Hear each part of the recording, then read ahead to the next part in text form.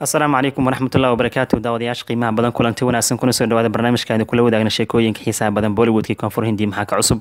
Fadlan daawad haddii aad tahay saaxiib nagu cusub janaalkan subscribe inoo saar saaxiibada joogtadana ugu xir muuqaalka noola gareeya waana ku mahadsantihiin wanaagga noo muujisiin. Sida uu ballanka waxaan ku bilaabanaa big movie walter viraya maxaa u suura galay maalinkiisa kuwaad ganacsigiisa guud dibad iyo dal waa la soo saxay. Odaga lagu magacaa jirin asagana markiisa ugu kalaamay sababto ee ganacsigiisa guud world wargaroos wuxuu gaaray afartan iyo karoor dibad iyo dal maalinkiisa koowaad.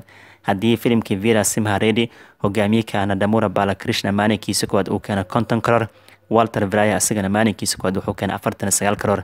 Weliba ogaada jirin jevi lacagtan wuxuu keenaa filimkiisa xilli tiyaatarada uu ku haystay.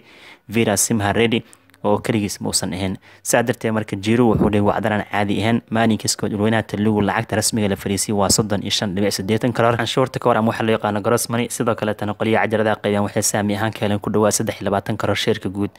Hindi inteeda kaletana wuxuu ka soo xareeyay hal dhibic lixdan iyo shan karoor odayaashan gobolkooda ku tashtaanay hindi inteeda kaleta uma xisaabsano. Dhinaca kaletana suuqyada caalamka filimkan wuxuu ka soo xareeyay sagaal karoor sheerka lagaalna wuxuu gaaraa ku dhawaad shan karoor sidaa darteed maalin koowaad filimkan wuxuu soo xareeyay dibad iyo dal afartan iyo sagaal dhibic toban karoor sidoo kaletana sheerka lagaal wuxuu gaaraa sagaal labaatan dhibic soddon karoor. Filimkan waxaa lagu iibsaday siddeetan iyo sagaal karoor. Sidaa darteed waxaa u dhiman ku dhawaad lixdan karoor sida uu ku noqon lahay hiid dhammaystiran marka odayga waa waa kalaamay. Saa darteed feestada sankarantey iyo bongaal markii aan firino filimadii soo baxeen waxaa kaalinta kuwaad ku jira vira simha redi oo dabcan sameyna damura balakrishna. Maalinkiis kuwaa soo xareeyay konton karoor. Dibad iyo daran ka hadleynaa walter viraya wuxuu keenay afartan iyo sagaal karoor. Farisuna dabcan sidaan shaaca ka qaadna wuxuu soo xareeyay afartan iyo toddoba karoori bar ilaa afartii lix karoor inta udhexeysa hadda laak waxaa lagu fariisiyay afartan iyo toddoba karoori bar. Faris inuu soo xareeyay dibad iyo dal maalinkiisii koowaad vijay hogaamiye ka ahay. Thunavu oo ajid kumaar hogaamiye ka asagana maalinkiis koowaad wuxuu soo xareeyay afartan iyo kow karoor. Sidaa darteed marka wax taariikhi ah ayay koonfur hindiya sameeyeen. Deewan filim kasta markii loo xisaaba feestooyinka sankarantey iyo bongaal oo iska socon ilaa laga gaarayo isniinta. Dhinaca kale saaxiibada qiimaha badan ninkii jirin jeva waa iska dhiciyay ninka lagu magacaana damura balakarish dhankaasi dabcan waqooyiga america weliba hadda wuxuu gaaray filimka lagu magacaabo walter viraya hal maalin iyo barkeeda wuxuu ku gaaray hal milyan oo doolarka mareykanka sidoo kaletana vira simharedi markii la fiiriya asigana wuxuu soo xareeyay sida u diiwaan gashan. Sideed boqol lixdan sideed kun oo doolarka mareykanka maalinkiis kooda toddoba boqol kun keenay kadib hoosu dhac uu sameeyey oo dabcan lixdan sideed kun oo doolarka mareykanka ayuu soo xareeyay marka welima uusan gaarin sida diiwaan hal milyan wuxuu maraa sideed boqol kun oo doolarka mareykanka ayuu maraa marka walter viraya ayaa ku hormaray hal milyan. Vira simha redi maalinkiisa labaad wuxuu sameeyey hoosu dhac waali ah waxaana ugu wacan inuu magaala ka qabsaday walter viraya nadamura balakrishna maalinkiisa koowaad waxaan ka warqabnaa filimkiisa wuxuu ku bilowday konton karoor dibad iyo dal. Laakiin daytu waxaa dhacday saaxiibada qiimo badan filimka inuu soo xareeyay sida uu diiwaan gashan. Kow iyo toban karoor ayuu keenay ganacsigiisa guud dibad iyo dal. Sheerka laga helna waa lix karoor. Saa darteed marka hoosu dhac waali ah ayuu sameeyey filimka lagu magacaabo vira simha redi dhulweynaha talugu maalinkiisa laba xitaa hoosu dhac weyn uu ka sameeyey wuxuu ka soo xareeyay sagaal karoor sheerka lagaalna wuxuu gaaraa shan dhibic labaatan iyo shan karoor hadda filimkan wuxuu maraa ganacsigiisa guud world wargaroos sida diiwaan gashan lixdan iyo kow karoor iyo maraa qoryaha cajaladaha qiimana saami ahaan waxay ka heleen soddon iyo toddoba karoor marka horena waxay ku iibsadeen toddobaatan iyo afar karoor waxaa u dhiman ku dhowaad soddon iyo toddoba karoor u dhiman sidoo filimkan hiid dhammaystiran ku noqon lahaa. Marka hoosu dhac waali ah ayuu sameeyey daytu filimka lagu magacaabo vira simharedi bal markaana soo qaadana saaxiibada qiimaha badan update weyn ayaa jira ku aadan baravas iyo sidoo kale dabcan sidaarta ananda filimka ay wada sameyn doonaan. Director sidaarta ananda waa ninkii ku caanbaxay waa iyo banga banga hertig roshin u sameeyey haddana dabcan bataan directorka ah. Next movie xitaa filimkiisa xiga waxaa sameynaya hertig roshan waxaa lagu magacaabaa dabcan fighter shaqadiisa way socotaa. Markuu fighter dhameeyo bartamaha sanadkan wuxuu bilaabi doonaa shaqo ahaan big movie oo u sameyn doona baravas sida haatan warbaahinta koonfur hindiya ay daawacayaan. Baravas xitaa wuxuu farqaha ku heystaa salaar iyo project k iyo sidoo kale filimka lagu magacaabo spirit oo u sameyn doono sandiib redi vanga saa darteed waxaa leey marka haatan waxay ku hesheen sidaarta ananda iyo baravas filimkooda shaqaan inay bilaabaan wixii ka dambeeya bartamaha sanadkan. Kani wuxuu noqon doonaa mega project filim weyn oo lacag waali lagu qarash gareyn doono. Mashruucana baravas wuxuu ka hela sheekada boqolkiiba boqol action tahay. Saa darteed marka wax weyn waddada ku soo jira haddii ay wada shaqeyn doonaan sidaarta ananda iyo baravas waa confirmation jiro dhinaca kale actarka lagu magacaaro tisha shmuuq iyo xaaskiisa ganeera dasuusa filimkooda fed uu iska baashaala waa filim marati ah sheeka ahaan laga soo min guuriy mashruucii tadlugu ahaa majili ee naga jatanya iyo samanta ee sameeya dashmuuq filimkan asiga directorka sidoo kale shirkadiisa mumbai film company a producerka ah wuxuuna haatan noqday filimkan blackbaster maadaama shan iyo toban cisho uu ku soo xareeyay lacagta nadiifka afartan iyo laba karoor ayuu gobolka maraatii keliya ka keenay. Waa waxaan caadi ahayn garoos manigan wuxuu soo xariyay ku dhawaad lacag gaaraysa dabcan konton karoor. Sidaa darteed marka filimkan hadda wuxuu noqday blackbuster mashruucan toban karoor keliya lagu qarash gareey shan karoor cajaradaha lagu qeybiyay asiga dhanba shan iyo toban karoora gashay. Haddana wuxuu soo xariyay konton karoor. Sidaas ay wuxuu ku noqday blackbuster dashmuuqna macaash badan ayuu ka helay. Waxaan kaloo soo qaadan karnaa sheekooyinka dabcan xiisaha badan qeybka ee saaxiibada qiimaha badan. Filimka lagu magacaabo farisu waxaa la saar dhankaasi dabcan talugu asigoo wata magaca loo yaqaan farasidu waxaa la rajeynaya maalinkiis kuwaad ganacsi qurux badan inuu sameyn doono. Inkastoo walter vraya si waali u gadmaayo vira simha redi tiyaatarada uu ku haysto. Haddana vijay filimkiisa waa la soo dhaweeyay dhankaas iyo talugu markii aan firin okobansiga si fiican ayuu dabcan subaxdii hore ku furmay oo shan iyo toban boqolkiiba galbiin wuxuu gaaray labaatan boqolkiiba fiidkiin wuxuu gaaray shan iyo labaatan boqolkiiba.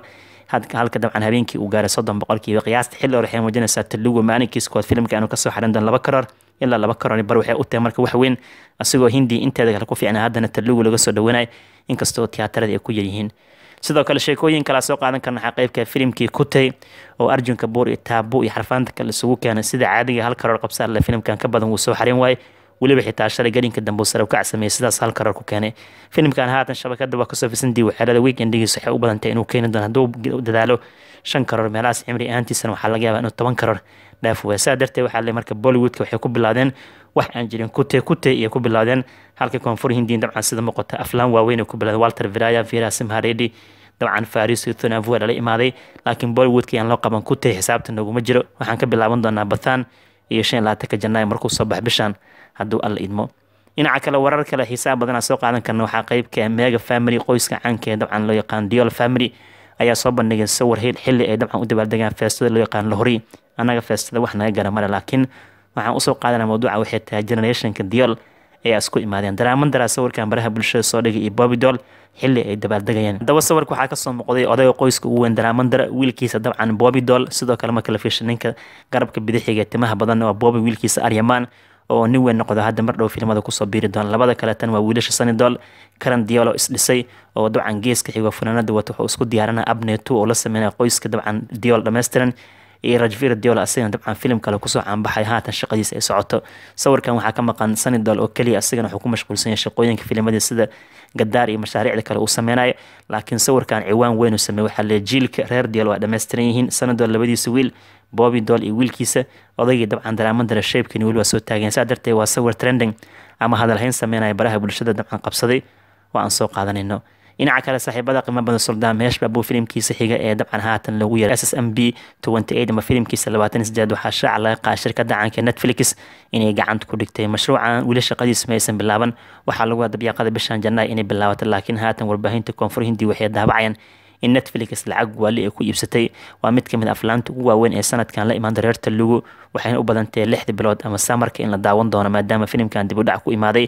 Saa darteed waxaa lay af talugu af tamiil af malaayalam af kanada oo lagu daawan doono dhammaan luqadahaas kala duwan. Dhanka o t t-ga netflix lacag fara badan ku iibsata filimkan waxaa directorka trifikram halka dabca muusigistacankii thamaan uu tumaayo suldaankan asigaa hogaamiye ka dhinaca kale saaxiibada qiimaha badan filimka bathan ayaa si weyn dabcan looga soo dhaweynaa suuqada caalamka. Tigidkiisana si hole ayaa loo iibsanaya wuu soo laabtay the king ama boqorka bollywoodka kadib markii haatan shaac laga qaada bathan in la daawan doono shan iyo labaatanka bishan dabcan janaayo.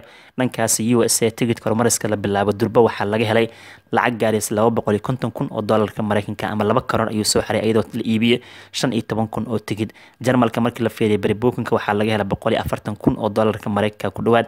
Lacag gaaraysa hal dhibic labaatan shan karoor. Australia waxaa laga helay toddobaatan kun oo doolarka mareykanka afartan leg saa darteed shirkada caanka shart film siyaasadda adeegsato ku aadan xilli hore in filimka bathan la bilaabo.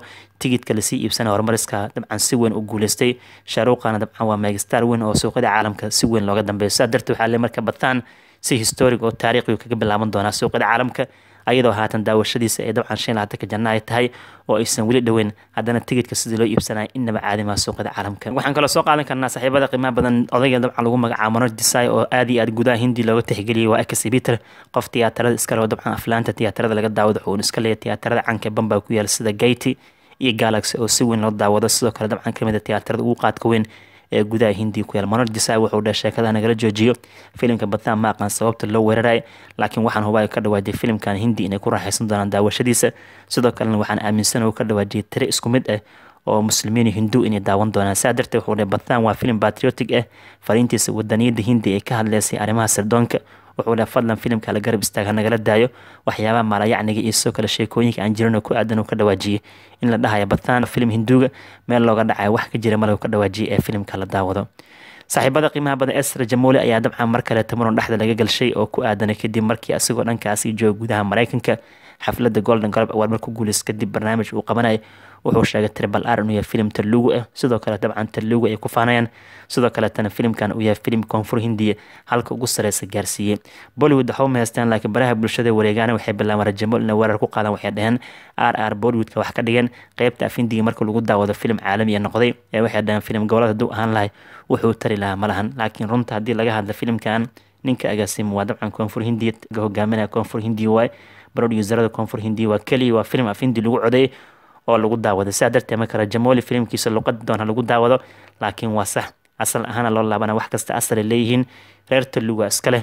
Filimkan xiisaha badan sidoo kale daawadayaasha qimabad mashruucaana waan ka warqabnaa inuu gaarsiiyo darajada ugu sareysa qaaradda aasiya maadaama uu noqdo filimkii ugu horreeya oo taariikh ahaan lagu qaato. Lada muusigada ugu wanaagsan oo lagu qaatay heeska nato. Nato haddana waxay u badan tahay heeska in lagu qaadan doono oscarka sababta waxaa leeyahy tobankii sane ugu dambeysay bilada oscarka best music ku guuleysanaysay waxaa la sheegay dabcan todoba bilad oo ka mid ah waxay ahayd ama dabcan muusigada lagu qaadanayo waxay ahayd mid dabcan golden globe soo qaadanaysa marka golden globe heeskii ku guuleysta best music inta badan waa lagu qaataa best music dhanka oscarka ah ama academic awardka oo la bixin doona bisha mars. Marka waxaan ilaha bollywoodka waxaa la imaada odagan rajamoli ka leexda runtuu sheegay filimkan waa filim talugu ah guushuu gaarna talugu ayaa dabcan loo nisbeynaya. Guud ahaana barnaamijkan kula wadaagna sheekooyinka xiisaha badan bollywoodkii koonfur hindi maxaa ka cusub? Intaasaan ku soo celinayna fadlan daawad haddii aad tahay saaxiib nagu cusub janaalkan subscribe inoo saar. Waa ku mahadsantihiin daawashadiina asalaamu calaykum waraxmatullahi wabarakatu